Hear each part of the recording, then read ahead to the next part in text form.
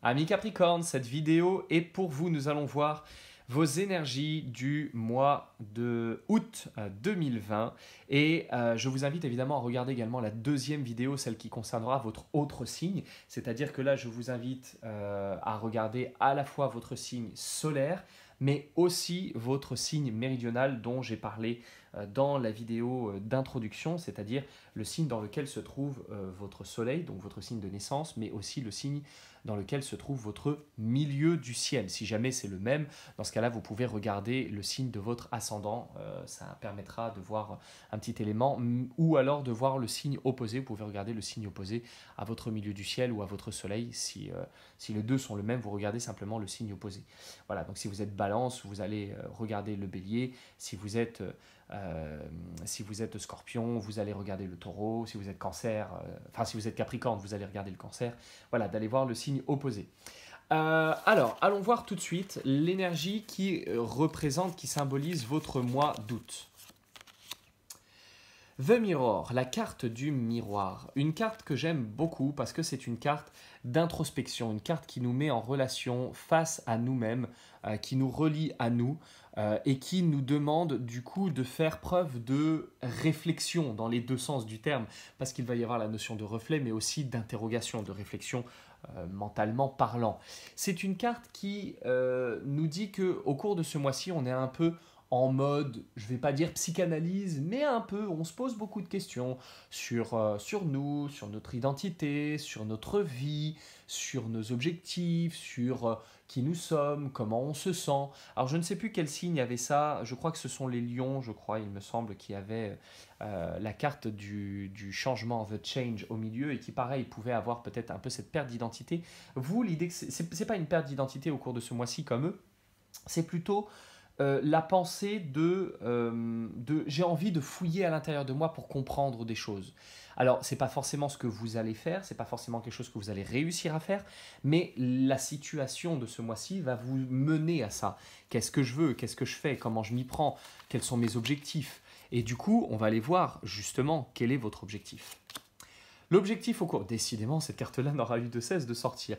La carte de The Big, c'est-à-dire la grandeur ou la croissance. C'est une carte qui parle de, marquer son territoire, de s'imposer, de, euh, de vraiment mettre un grand coup de poing sur la table en disant Eh oh, je suis là, j'existe, voici ce que je veux, voici la situation que j'attends, voici ce que je suis capable de mettre en place pour que les choses se produisent. C'est vraiment un objectif où on veut s'imposer.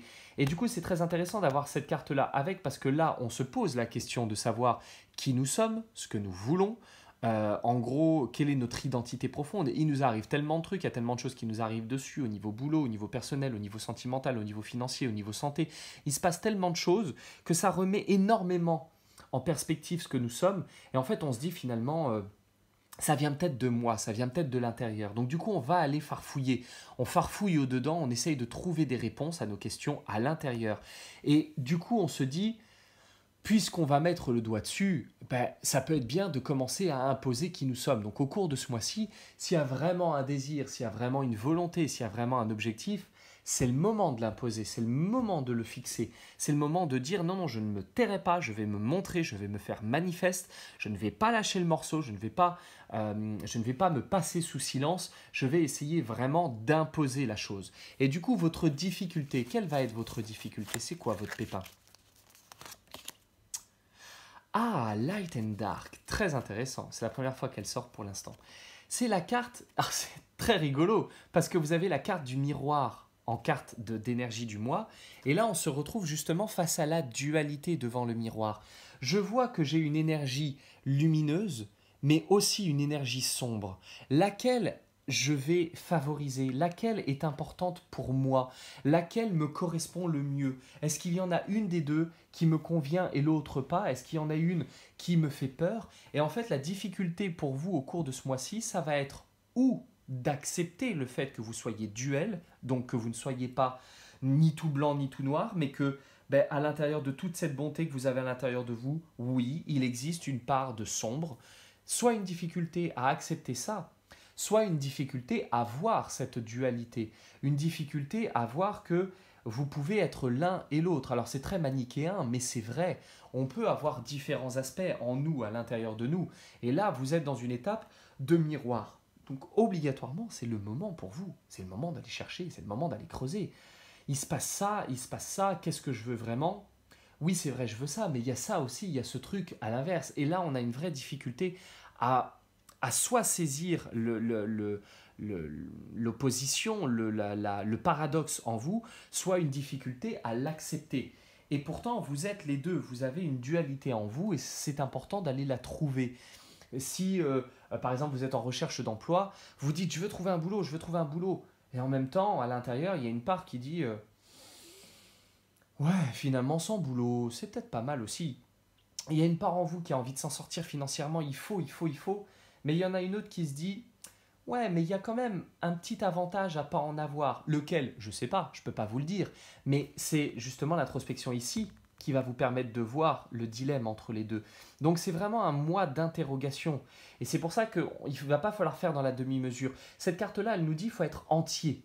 La carte de la grandeur, de la croissance, de Big, c'est une carte qui dit qu'il faut être entier. C'est-à-dire même vous, par rapport à vous, soyez honnête allez creuser dans les zones un peu sombres de votre personnalité, allez voir ce qui se trame à l'intérieur, faites preuve de beaucoup de, de, franchise par rapport à vous-même. Vous savez qu'à l'intérieur de vous, vous avez parfois des comportements qui sont un peu paradoxaux, un peu antipodiques. Pourquoi? Qu'est-ce qui fait que? Et n'allez pas cacher, ne vous dites pas « Oh non, non, non, moi je suis pas du tout comme ça ». Ça sert à rien. En fait, vous ne sortirez pas de cette situation en n'acceptant pas de voir réellement les choses. C'est en allant vraiment les creuser, en allant les chercher, qu'on peut voir pourquoi il m'arrive ça, quel est le bénéfice secondaire que je refuse de voir. Et donc du coup, on va voir quel est votre, euh, votre objectif au cours de ce mois-ci. C'est quoi l'objectif? The Sweet, mettre un peu de douceur dans votre vie. C'est mettre un peu de douceur. Alors, trop sucré, ça peut être un peu, euh, un peu écœurant. Donc on a besoin d'un peu, de, peu de sel pour sentir le sucre. Et c'est aussi ce que nous dit cette carte-là. Je savoure la douceur du sucre parce que je connais le piquant du sel, parce que je connais l'amertume. Euh, si je ne connais rien, je vais savourer le sucre, mais c'est tout. À un moment donné, je vais m'en lasser. Et c'est en voyant justement ce paradoxe à l'intérieur de vous, en voyant le côté salé, que vous allez pouvoir accepter et vous, vous formalisez du côté salé à l'intérieur de vous. La carte du sucre, c'est aussi l'idée de mettre de la douceur dans notre vie, de mettre de la délicatesse, de la tendresse. C'est une carte qui s'entend très bien, par exemple, avec la carte des fleurs que euh, nous avons eue, je crois, chez les béliers, il me semble, si je ne dis pas de bêtises.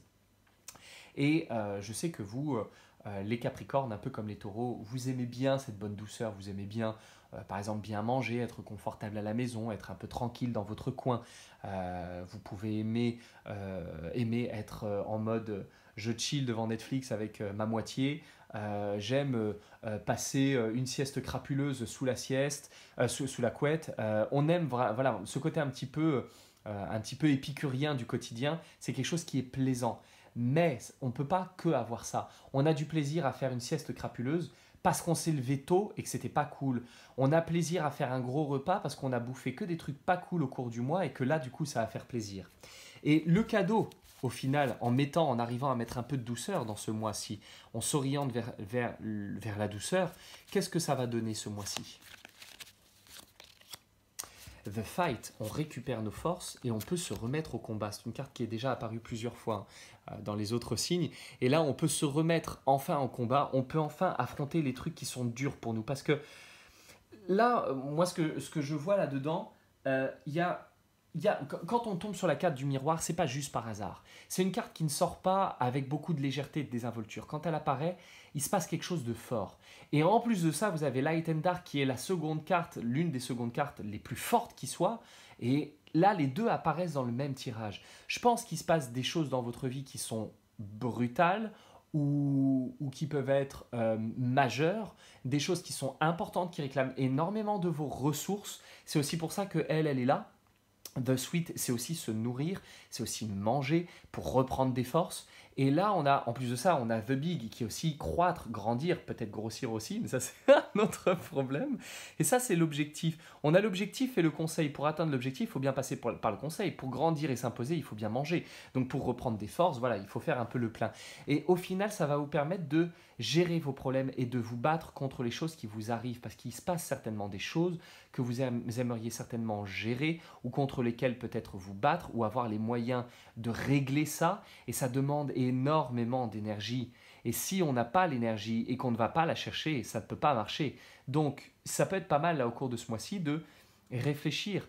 Qu'est-ce que je veux? Qu'est-ce qui est bon pour moi? Comment je peux me nourrir pour pouvoir récupérer les forces et repasser euh, au combat pour régler un petit peu, euh, ben, un petit peu tous les problèmes voilà, qui étaient euh, en attente d'être réglés.